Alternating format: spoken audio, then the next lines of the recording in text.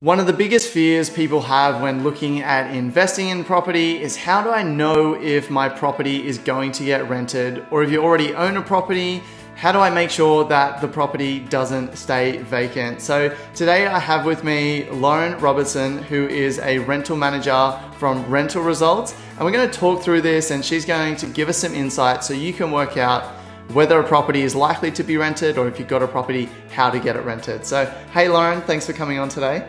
Yeah, thanks, Ryan. Thanks for having me. No worries. So, do you want to just give us a quick rundown of, I guess, who you are and what you guys do, and then we'll jump into, you know, how we can assess this. Yeah, great. So, yeah, I own Rental Results. So, we're a property management specialist company.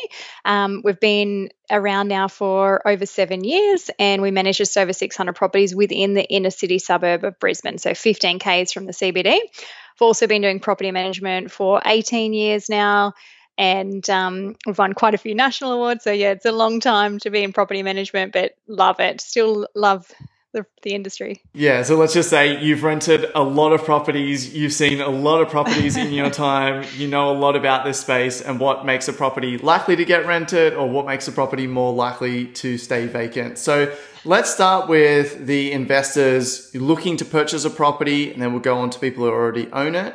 But let's say people are looking at a property, they're like, okay, I might want to invest in this property, but they haven't, they don't know about the market or the area. How do they know if that property is likely to be able to be rented or not? Yes, I have also written a book on this, which is rented, um, and it's yeah, it's got a website rented.com.au. But basically, it comes back to understanding the market, so knowing what the vacancy rates in that particular area are, understanding your property, so knowing the type of tenant that that property is likely to attract, and whether there's a market for that, and then also making sure the property is priced right and presenting well.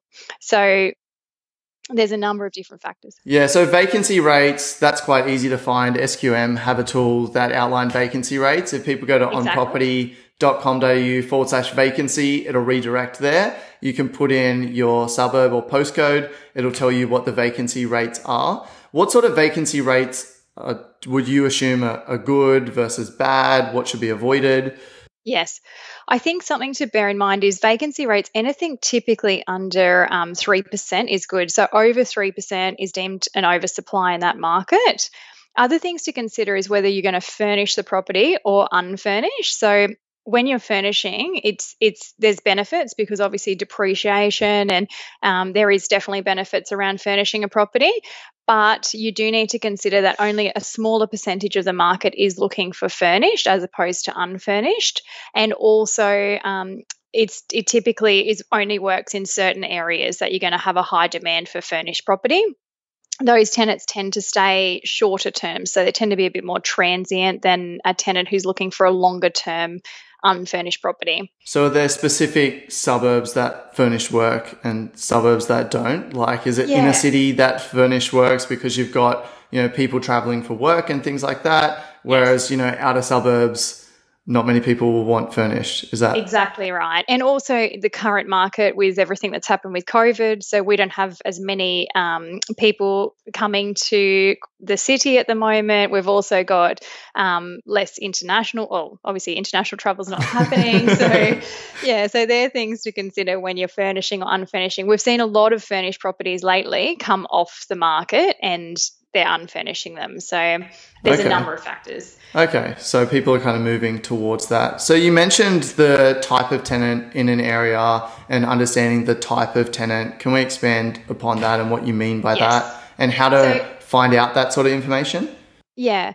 Honestly, I think the best advice would be to speak to your local property manager. They're going to be able to give you advice on the type of tenant that property is going to attract, um, who's been looking for those properties, those features that that property, um, those tenants are looking for in a property. So, for example, if you've got a house, typically that will appeal to a family with children or pets, and those people tend to want things like fenced yard so that this, the pets or the children are safe. Um, you know, they tend to want things like dishwashers, air conditioning for comfort, and they tend to be prepared to pay more for those types of things. Um, so that's just a general idea. Do you have any examples of a property that maybe wasn't suited to the market and was difficult to rent as a result, just so we can get an idea?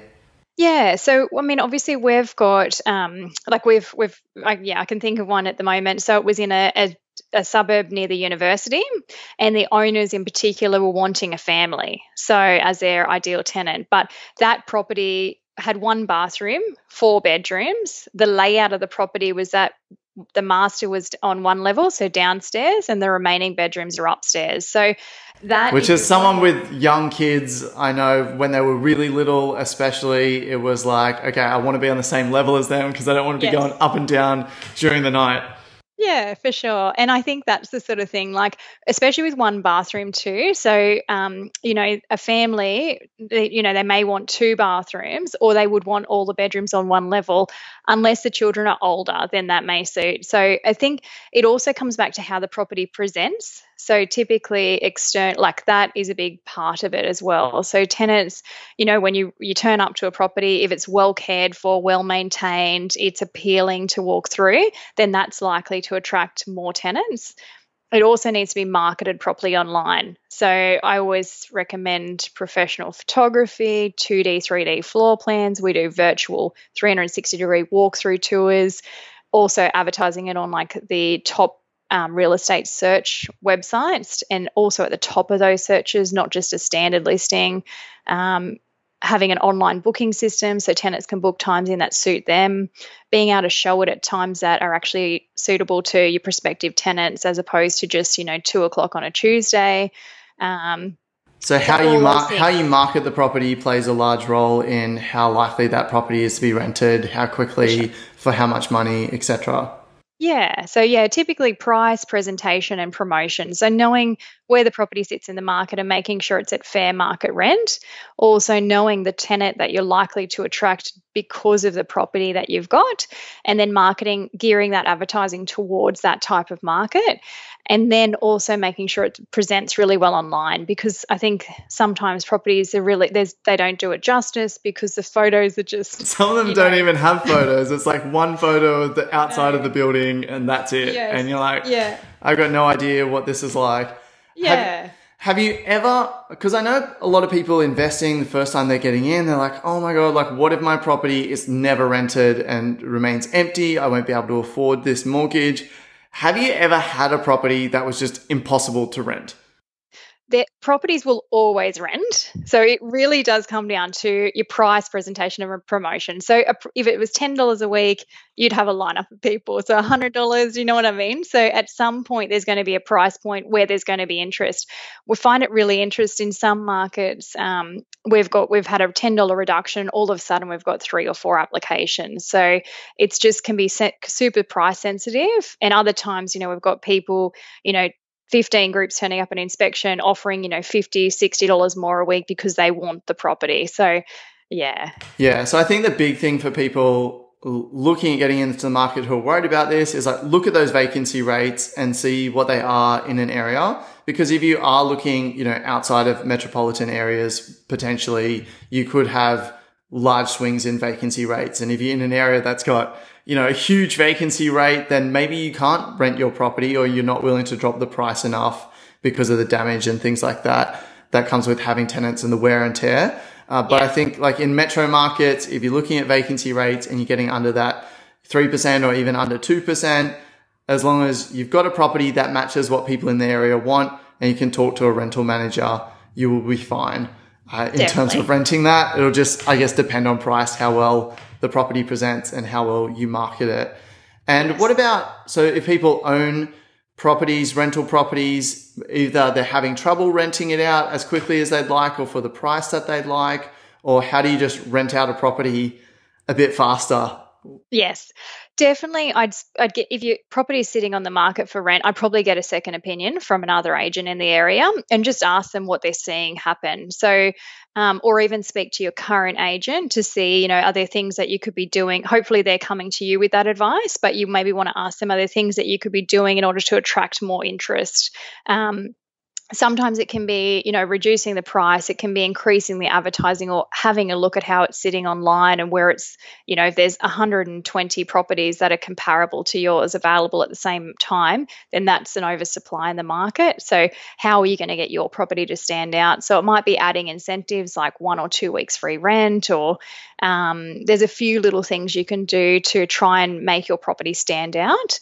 Um, but yeah, I think it do- really does come back to you know making sure how it's looking online. So professional photography, having all your floor plans available, so people you're getting qualified leads or qualified tenants showing up at the property, so they they already have a really good idea of what the property looks like, the layout, and they're almost you know ready to apply because they've seen all of that online.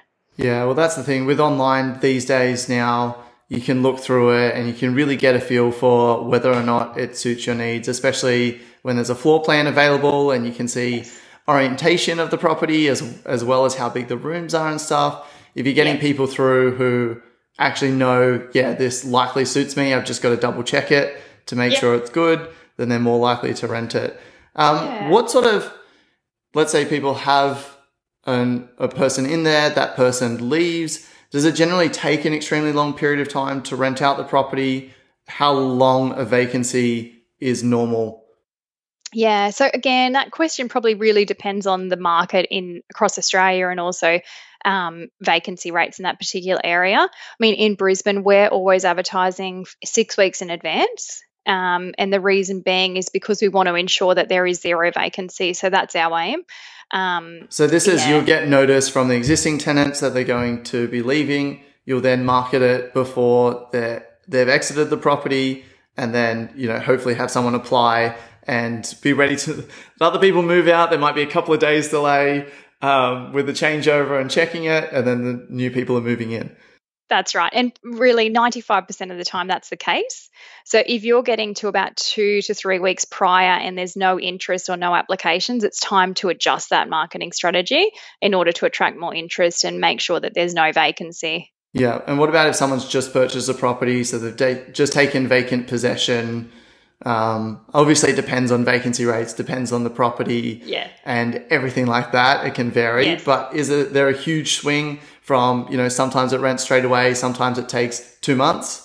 Or is it more uh, like there can be. And again i think it's making sure that the whichever property manager you choose to work with you're getting really good communication. So really you want to be getting an update after every inspection at least once a week as to what you need to do in terms of encouraging more interest. So if you've got a vacant property that's costing you money. So you want a tenant in there ASAP. So really, it, if it means reducing the rent by ten dollars a week to attract someone quicker, you're much better off because you consider the annual return versus holding in there for that. You know, say you want four twenty a week, if you get four ten and it rents today versus three weeks time, you're much better off. So, and. Yeah should people look at getting a rental appraisal from someone like yourself? Let's say they're looking at purchasing an investment property. Is it worth calling someone like yourself and saying, what will this rent for? Or is that like annoying for you if they haven't no. actually settled on the property and got a contract yet. Obviously, we yeah. don't want to be wasting your time.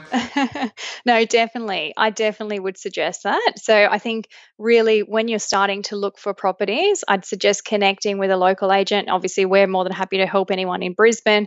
Um, and yeah, making sure that you understand okay, what's the vacancy rate like in that area? What's um, the what's the st- statistics of the demographics who are likely to rent that property? What who's going to who's this property going to appeal to, and what do they want to see in a rent rental property? Are there things you can do to add to that property to make the um, rent higher?